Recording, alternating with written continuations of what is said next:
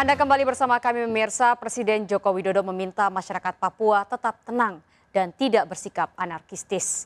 Presiden Joko Widodo mengajak semua pihak untuk terus menjaga agar tanah Papua tetap damai.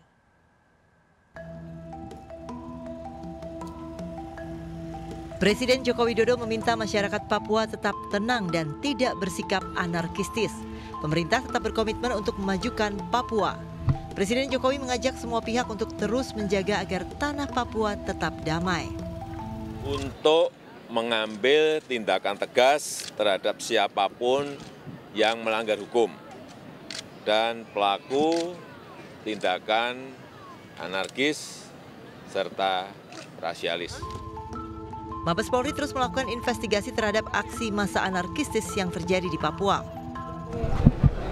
Juga teman-teman TNI ada dua juga yang kena lagi di Pana.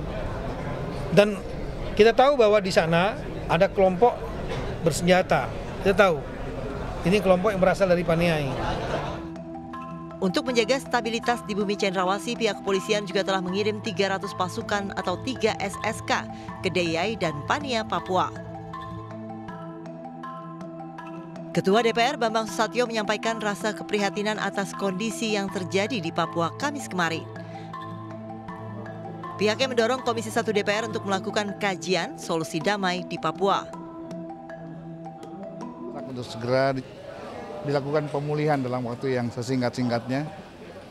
Dan kita pimpinan mendorong Komisi 1 untuk melakukan kajian apakah nanti berbagai peristiwa itu dan gerakan-gerakan yang ada bisa dikategorikan menjadi gerakan separatis atau gerakan uh, orang bersenjata.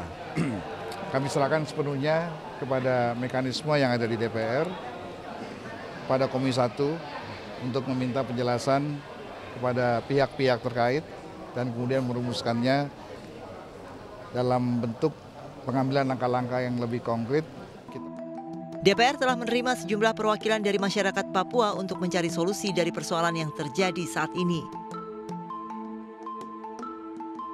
Tim Liputan iNews melaporkan.